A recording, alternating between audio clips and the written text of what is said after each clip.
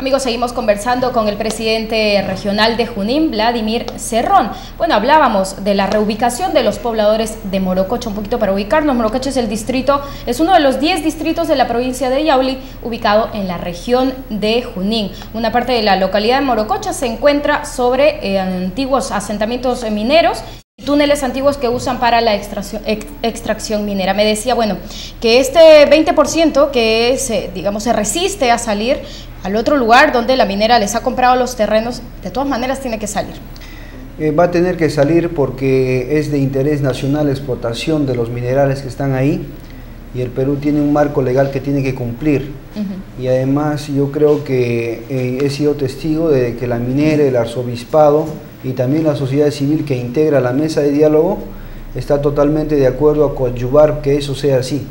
Caso contrario, los pobladores que habitan Morococha no tendrían nunca ni esperanza de mejorar la vivienda, porque ese área ya, eh, si no es no, no lo va a explotar nadie. Entonces, este es un gran problema, ¿no? Y lo que se entorpece es que sabiendo que se va a demoler la antigua Morococha, el alcalde actualmente sigue construyendo eh, la compañía de bomberos, la plaza, un policlínico, un estadio, sabiendo que se va a demoler. Pero ¿y usted no está interviniendo en eso? No tenemos facultades mm. porque el municipio tiene autonomía.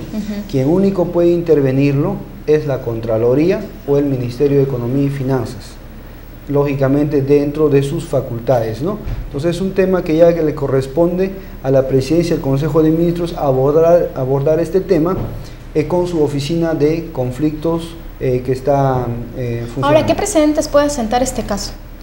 Es el primer reasentamiento que se da en el mundo, ni siquiera en el Perú. Por eso que se ha tratado con mucha delicadeza y con mucha paciencia. Eh, este, esta mesa de diálogo funciona hasta antes de que nosotros hayamos asumido el gobierno regional. Estoy hablando hace cuatro o cinco años más o menos. Claro. Entonces, eh, nunca se ha eh, optado por la violencia, jamás. Y ha dado buenos resultados. Antes no quería mudarse del 100% al 80%. Ahora el 80% ya está mudado. ¿no? Entonces es cuestión de tiempo y de que bueno se pueda reflexionar. Lo que debe haber mejores términos de negociación seguramente con los pobladores ¿no? y con la empresa minera fundamentalmente y nosotros entrar como mediadores. El día de ayer ya me he reunido en el Ministerio de Energía y Minas con los funcionarios para coadyuvar a que esto sea, sea de una forma gradual, ¿no? Y nunca eh, se ejerce una presión violenta. Bien, sí, bien, bien, bien, esperemos que se solucione este caso entonces. De otro lado, el tema del aeropuerto, la construcción de un aeropuerto internacional en Junín, ¿cómo va? El gobierno lo dejó en stand-by el año pasado. Bueno, eh, fue lamentable que el gobierno central eh, tenga que retroceder. ¿Por qué? Perdiendo a la autoridad, perdiendo, quebrando su propio principio de autoridad. Es como si eh, hubieran retrocedido en el tema de la parada, ahí hubiera quedado todo. Hubo un muerto en estos enfrentamientos entre la policía con la población. En la parada hubieron tres, ¿ya? pero hubo apoyo político desde arriba. ¿Pero eso qué quiere decir con que la parada hubo tres? Hubieron tres muertos. Claro, sí. Por eso es, es, un costo social mayor, pero el gobierno eh, central decidió apoyar a la alcaldesa, ¿verdad? Que la alcaldesa... tiene un rango de presidente regional al mudar el tema de la parada. ¿Qué, ¿Qué pasaba en Junín? El gobierno central tenía que haber apoyado la propuesta del gobierno regional que era realizar unos estudios, ni siquiera era ejecutar un, un, aeropuerto, era hacer los estudios científicos que determinen dónde debiera situarse la nueva infraestructura, pero de rango internacional un ejemplo también. Pero la población, ¿qué es lo que pedía exactamente? ¿O a qué se oponía?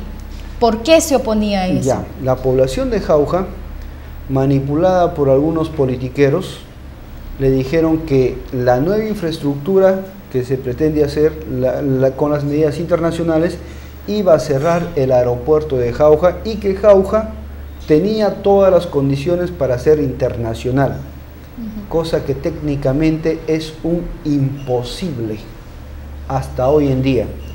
Y la prueba más contundente de lo que te digo es que es el único aeropuerto en el Perú que nadie lo quiere concesionar. ¿Por qué? Porque el que, es, el que tiene dinero no va a invertir pues en algo que no le da seguridad aeronáutica, porque está violando todas las reglas en esa posición, eh, en esa ubicación, la pista de Jauja. Y segundo, que, el, Ministerio de Economía y Finanzas para este año fiscal no le ha dado ni un centavo para su mejora y nunca lo va a hacer. Pero ¿y qué ha dicho el Ministerio de Transportes y Comunicaciones? El, ministro eh, Paredes un día antes estaba totalmente eh, defendiendo la posición en que se había quedado, o sea, que se hagan los estudios y que los estudios determinen cuál de los dos era el idóneo, o se hace Orcotuna, el nuevo aeropuerto, o se mejora Jauja para hacerlo internacional si cumplía técnicamente.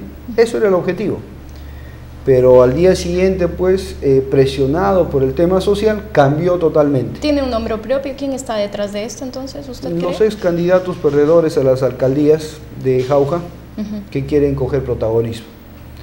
Porque yo me reuní con el presidente de la República, me reuní con el ministro en Palacio, los tres. Y se quedaron de, estuvieron de acuerdo que en primer Orcotuna tenía que ser el aeropuerto internacional, no solamente por fines comerciales, sino por fines de defensa que el Estado no tiene un aeropuerto de defensa militar en los Andes del país, ninguno. Entonces, por todo y eso y muchas consideraciones, quedamos así. ¿Y, usted qué espera entonces ahora? Bueno, el problema es que eh, este tema eh, va a tener que darse de todas maneras.